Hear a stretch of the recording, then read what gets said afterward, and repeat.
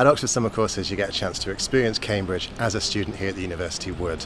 Our Cambridge courses offer you the chance to get really up close and personal with the subject. Students that uh, attend our Cambridge program will be able to get back home with great friends, amazing experience, great memories, and knowledge of how to write essays, how to work through problems in a really in depth way.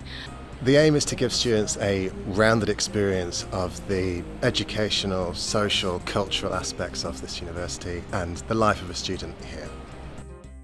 So I'm taking a course which is to try and give a background and raise some possibly more questions than it answers on what's going on in the world and how in the last 10 years significant developments in medicine, cyberspace, the internet, um, how this is impacting on war, on politics, on how we live our lives. I will be starting studying here next year and I've basically been learning the basics of it and some major important factors that you need to take into account which is going to be really interesting and satisfactory like when then I go to actually study politics at university.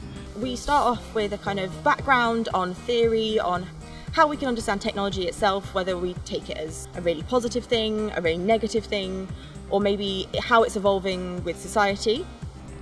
Um, working in a small group has been really good, especially for my course, since um, in politics it's really important that we debate, each one can express their own ideas.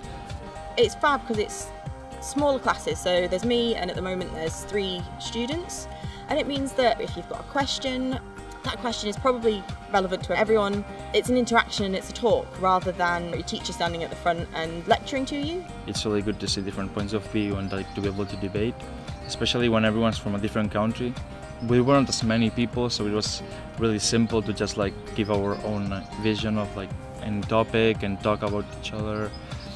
Already we're kind of trying to take a much more analytical and critical view of the world, um, sort of questioning why things are happening. So I very much hope that they can go away looking at technology and looking at developments and going, ah, who's benefiting from that? Why is that happening?